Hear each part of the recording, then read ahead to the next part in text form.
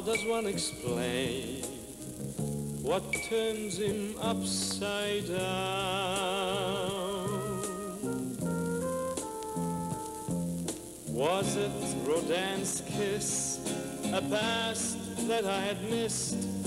Why I feel this way about Philadelphia,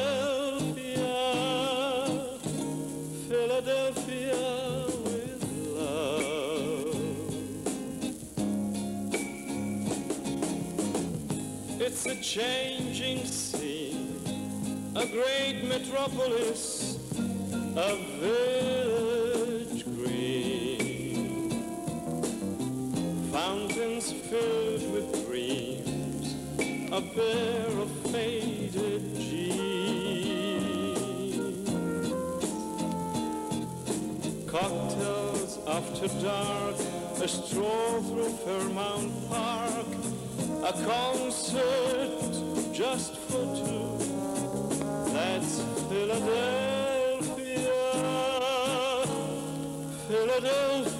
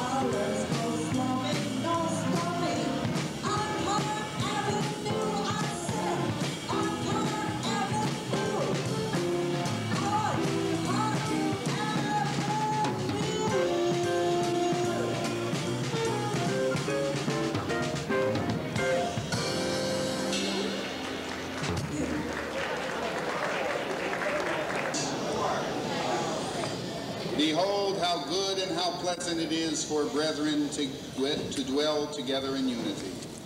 We are in unity to celebrate an event that we are taught takes great heroism to reach four score years. And so all of us are heroes. Next week is Hanukkah. And what better time to celebrate Richard Rubin's 80th birthday than to say, Heroic brothers and sisters, we bless God together for the dividends of a life well lived, and for a beautiful family, even unto a fourth generation, a great-grandchild is here. And so in a spirit of fellowship and thanks to God, do we declare the words of the blessing together for the gift of life. Please join me in the Shehecheyanu. Baruch atah Adonai Eloheinu melech olam, Shehecheyanu v'kimanu v'higianu lazman hazeh. Blessed art thou, O Lord our God, King of the universe, who has kept us in life and sustained us and enabled us to reach this wonderful evening together. And as we celebrate, we bless God for the food we shall partake. Please join me in the Motzi in the English. Blessed art thou, O Lord our God, King of the universe, who brings forth bread from the earth. And let us all say, Amen. A hearty appetite, everyone. Enjoy, enjoy.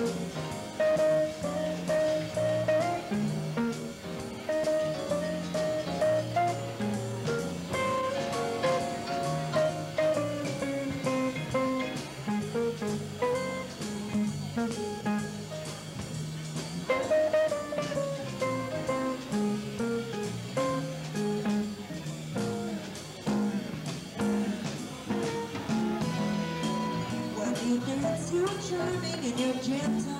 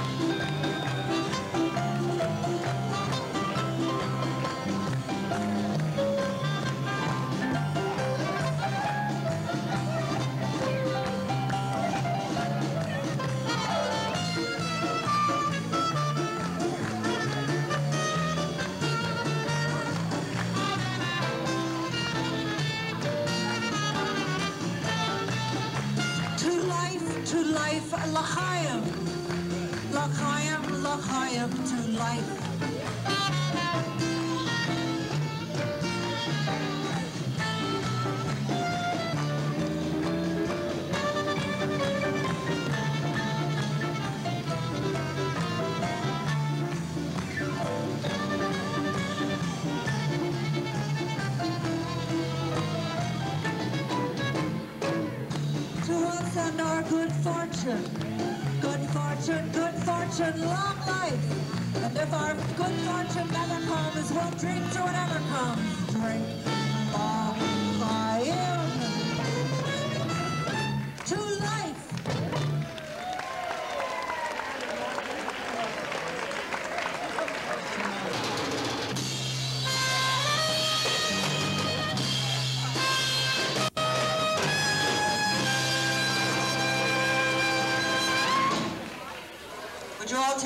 our program is about to begin.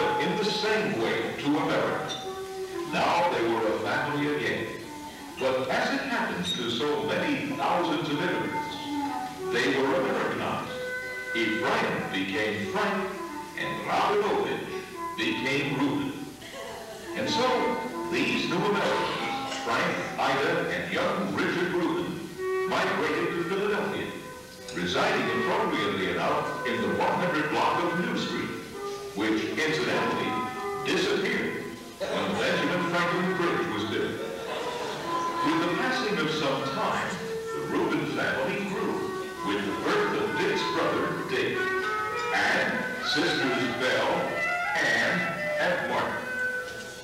Here is Brother David to introduce the sisters three as they are today.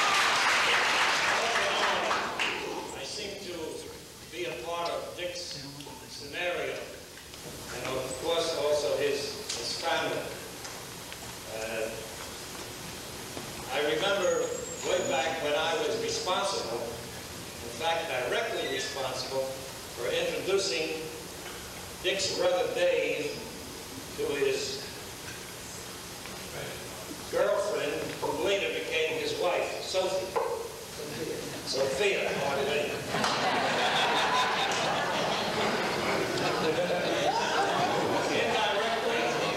I was also responsible for Dick getting together with Dottie.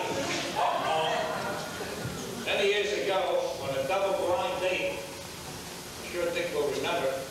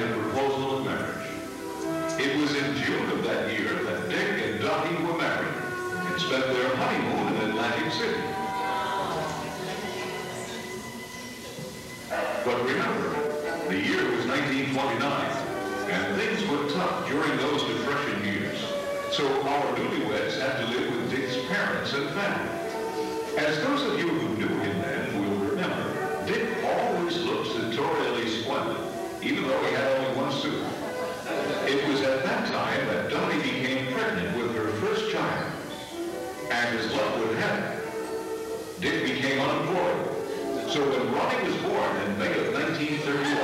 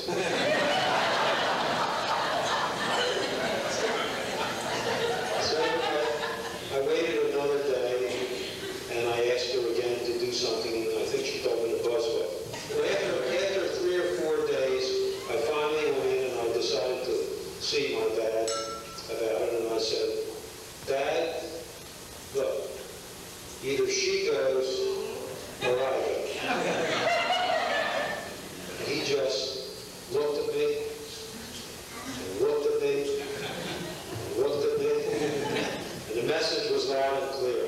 See, the Rubins don't have to talk.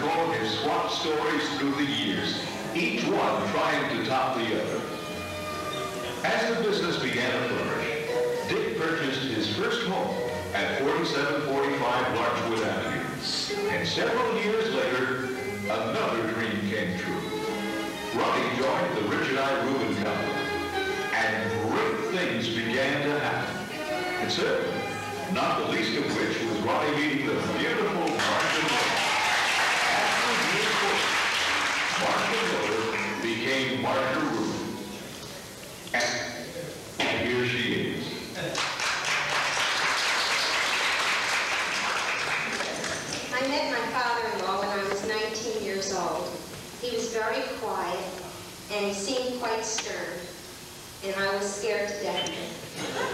I was from a very verbal family, and I didn't think I'd ever be able to communicate with him. But through the years, Dad, you've spoken volumes to me, not in words, but you've always approved of me. And because of your approval, I became a more confident person in myself. So you had a language all your own, and I didn't know it that, but we didn't need words.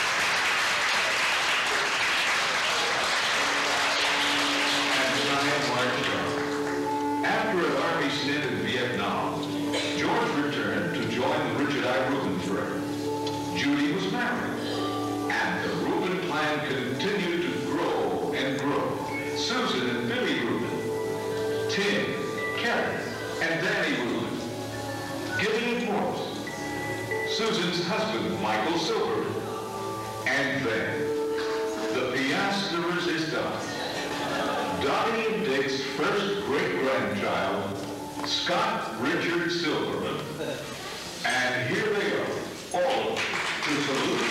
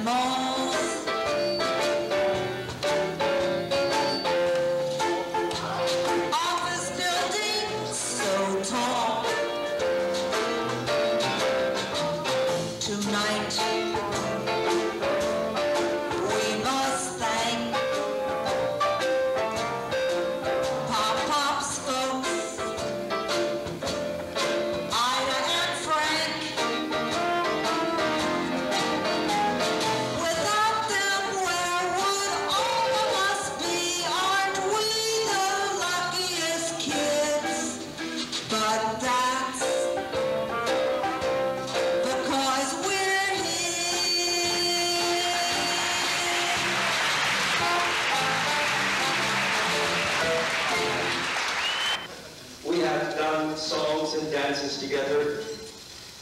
And tonight, as I watched the film and looked at faces of the family, I could not help but marvel at what is perhaps the greatest blessing of all. We're living in an age, supposedly, where the family is on the decline. And yet, thank God, tonight we're celebrating not just 80 years in the life of one person, but 80 years of the life of that mensch in the midst of a great family.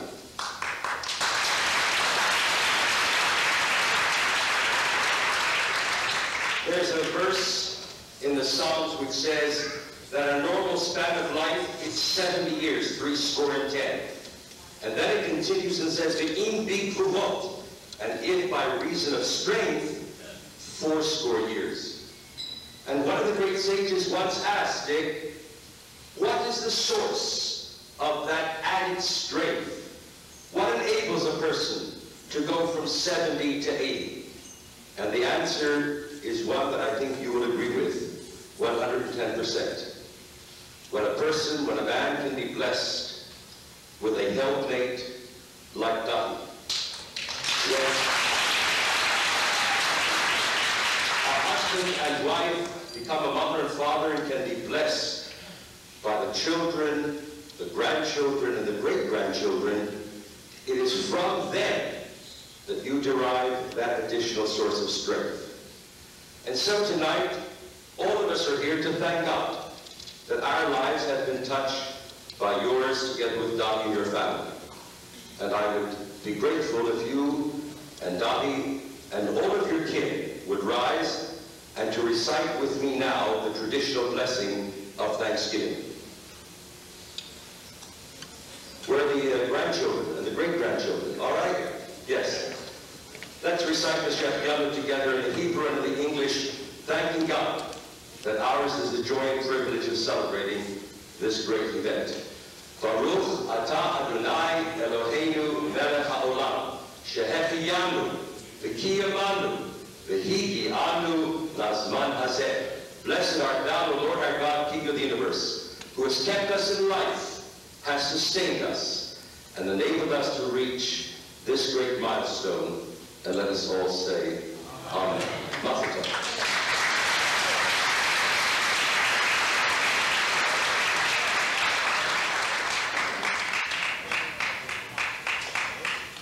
Thank you, Rabbi.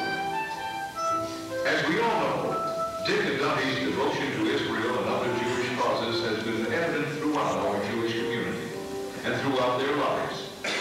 Their dedicated efforts on behalf of the Federation of Jewish Agencies, the American Jewish Congress, Israel Bonds, and so many, many others have been recognized by the various organizations over the years. One of the Rubins' closest friends who may have a few things to say about the Rubens and especially our birthday boy, is the president of the Federation of Jewish Agencies,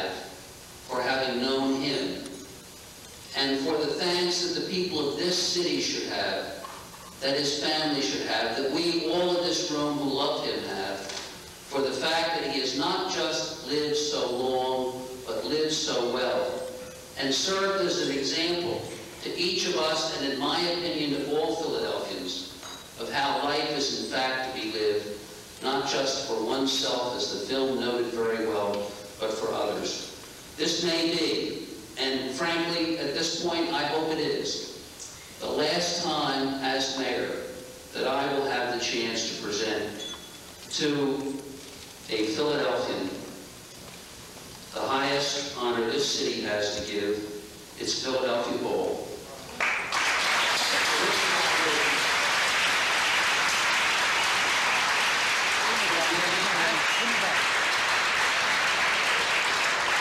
His life serves as a symbol of all of the citizens of this city, that you can be anything you want to be, and that there is nothing more important than working hard than loving your family, than having the values that both the rabbi and Ronnie alluded to.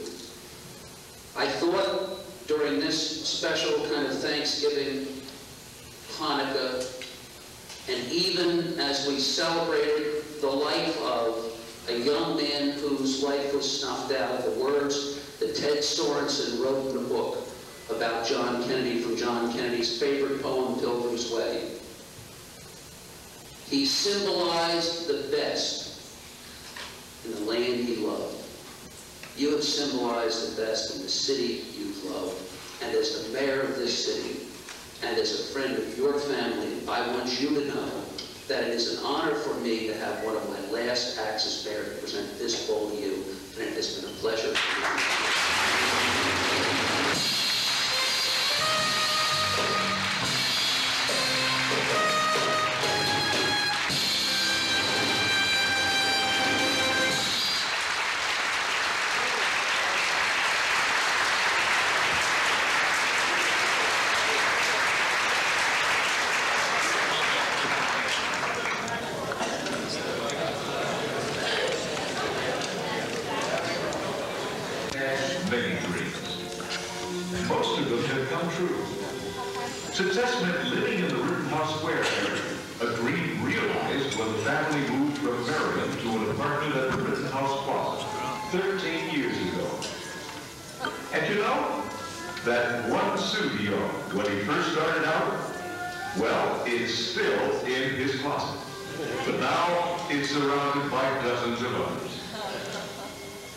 Richard Rubin Company has prospered. Another dream realized. But the happiest and most wonderful fulfillment of his life has been and still is his family and his beautiful daughter, his wife of 54 years. Here she is. Dr. Rubin is the beautiful all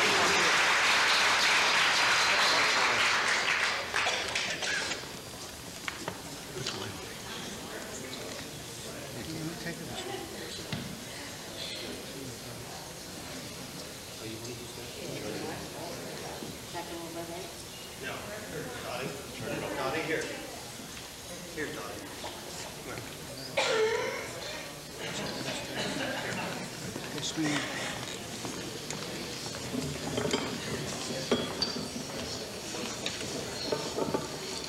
Come That have the story told to you in such a beautiful fashion, I just sit my quell and I say, how, how lucky can you get? My cup runs over and there are wonderful feelings and happiness. We feel as if God gave us a wonderful gift of love and good health. And I look at my husband with his pink cheeks and his, his glowing, refreshing manner and looks. And he does it beautifully. And he is beautiful. And everybody would be asking me, what is the secret of Richard I. Rubin? Through the years, I have always been very, very tense about my responsibility as a mother. And I always thought that something horrible may happen if I don't give my all to the child. But my husband was always apathetic about that stand that I took. He said, they are going to be just fine. Everything is just normal is they're going to be great. And incidentally, his big philosophy is think pink. well, everybody may think it's funny.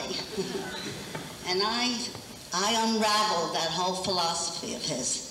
When Ronnie was born, he said it was, I knew it was going to be a boy. And then when I was expecting my second child, he, he said, it will be a girl. Think pink. And he got a girl. A beautiful girl. A happy girl. And a blessing in our family. And then, of course, George came, and we were very happy to take a boy or a girl, so there was no strong feeling about what it would be, but he was thinking pink, and the baby came, and everything is just wonderful, even though he was a boy.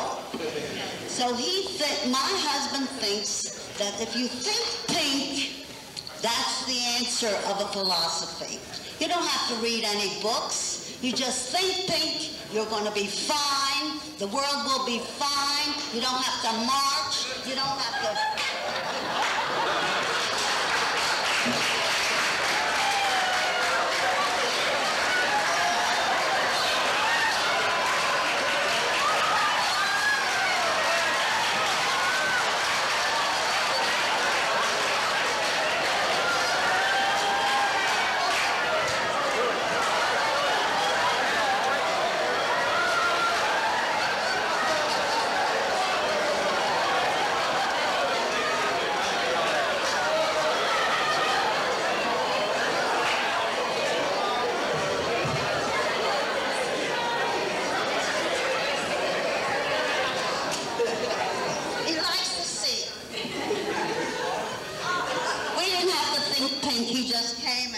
The blue and yellow and red. Sweet thing. so now you know the secret. Big Pink, the wars will be over. And I'm beginning to believe him because I didn't find it in any philosophy book that that's the answer. But my husband's answer to, in his life is my answer now. So I'm closing the shop of every book and every philosophy. But rabbi is here. And the rabbi knows a better answer to the whole thing, right? Do you want to give us the answer, dear?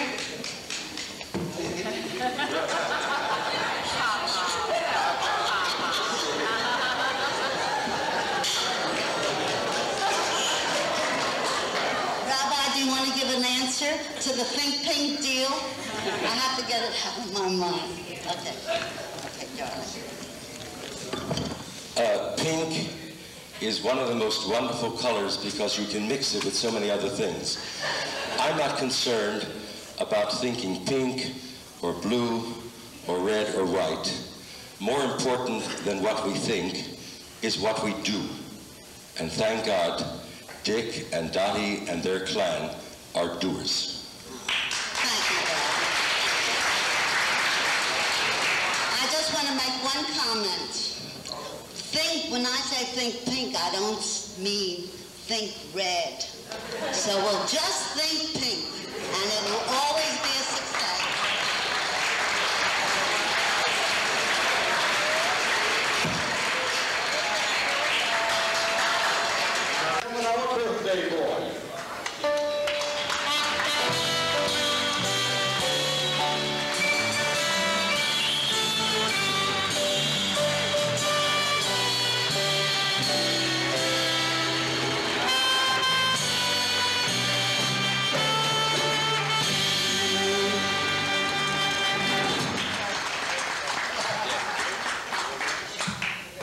Okay, you can sit down now.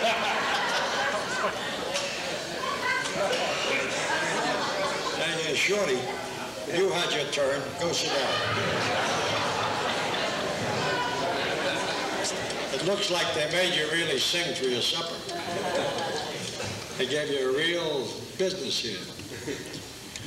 You know, uh, some people thought that this was a surprise, and uh, it wasn't a surprise. I, I uh, had some time to, to think about it. Incidentally, I think about surprise, 10 years ago, uh, some of the boys got together and decided that they would give me a 70th surprise luncheon. The only problem was that uh, there was a lack of communication, and when the luncheon, they all assembled I guess it was about 60 or 70 of them, and they forgot to tell me. and there I was sitting in the office ready to have my lunch in the office. Unfortunately, one of the boys was busy on the phone. He sees me starting to eat in the office. He says, I, aren't you coming to lunch with me? And I finally, he, he said, well, I, I have to talk to you about something. And he dragged me to the Lovers Club, and there they were sitting there. My boyfriend, may rest in peace, McKenna, was handling the thing. He thought Ronnie was telling me. Ronnie thought he was telling me. So it turned out I almost didn't get there. This time they weren't going to surprise me. So this is not a surprise. And I, I had uh, a, kaleidoscope of things go through my mind. What am I going to say? But I, I'm not a bit concerned now because you had plenty. They gave you from here to Frisco. Nobody had dessert yet either. You know, uh, when we did the hotel, we had the city fathers. I don't know whether, Bill, I don't know whether you were, no, no, was, uh, there- we had a group of the, uh,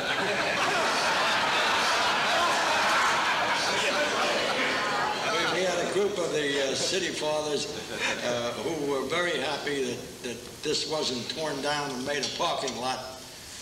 And uh, when they called on me, I told them that uh, Ronnie, the president, is the idea man. He gets the ideas, and the idea was his. And he was gave birth to it. He brought it to fruition. My uh, captain, Georgie, the engineer, supervised the job, And uh, my sweetheart, Judy, did the public relations, and incidentally, we got press all over the world, not only local, but national and international. Did a wonderful job. And I said, they did the work, and my wife and I got the credit for it because we produced it, right? So it just somehow or other fell flat. I figure I had to finish it some way. So I said, uh, my friend Yip Harburg said to me, well, if, if you can produce three like that, why didn't you produce a few more? I said I had a very strict mother-in-law. I had a very strict mother-in-law.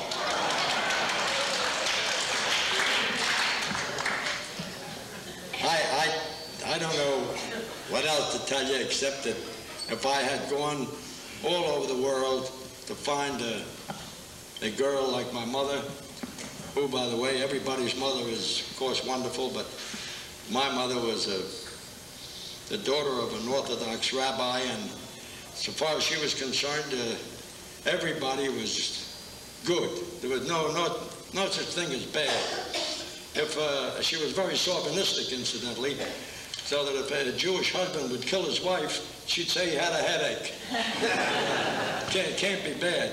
And I, if I'd gone all over the world to find somebody like my mother, it just couldn't have happened except at, at Starr Garden, at uh, 6th and Lombard, I finally found the Pizzanizza, the Litva. 54 years, and uh, although